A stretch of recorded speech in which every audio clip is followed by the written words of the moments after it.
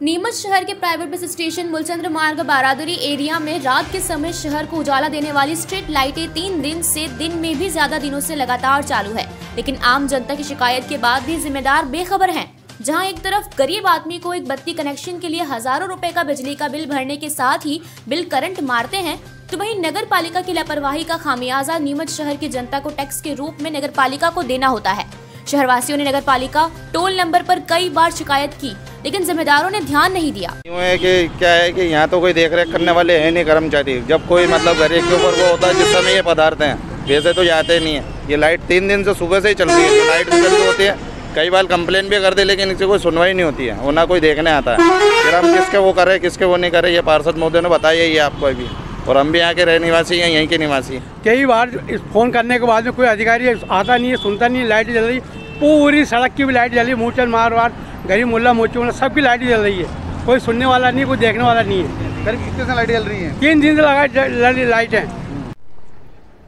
ये बड़ा दुर्भाग्यपूर्ण विषय है कि तीन दिन से बस स्टैंड एरिया में जैसा आपने बताया कि तीन दिन से लाइटें जली हुई है। और नगर पालिका प्रशासन और विद्युत विभाग बेखबर है। मेरा आग्रह यह है कि एक गरीब व्यक्ति जिसको बिजली मिलती नहीं है और बिजली जब मिलती भी है तो मनमाने ढंग से उसके बिल आते हैं और बिल जब उसके हाथ में आता है तो उस बेचारे गरीब को करंट लग जाता है।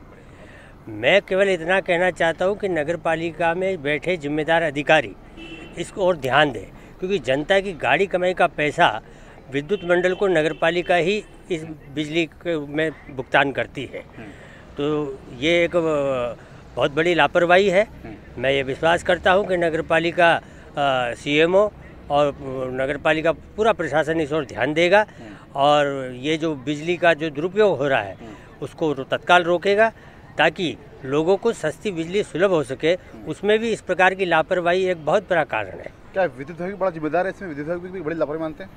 विद्युत विभाग की लापरवाही तो मैं कम मानूँगा क्योंकि नगर पालिका जब बिजली का बिल भुगतान करती है तो वो सीधा सीधा पैसा जनता का है।